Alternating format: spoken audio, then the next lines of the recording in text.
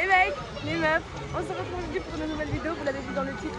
C'est aujourd'hui la réouverture, enfin c'est pas aujourd'hui, mais en tout cas on va faire la réouverture de Small World. Voilà, je vais vous montrer l'intégralité de l'attraction.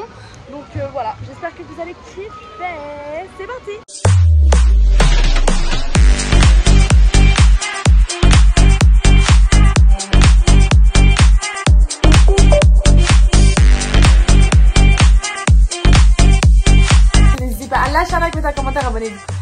N'hésitez pas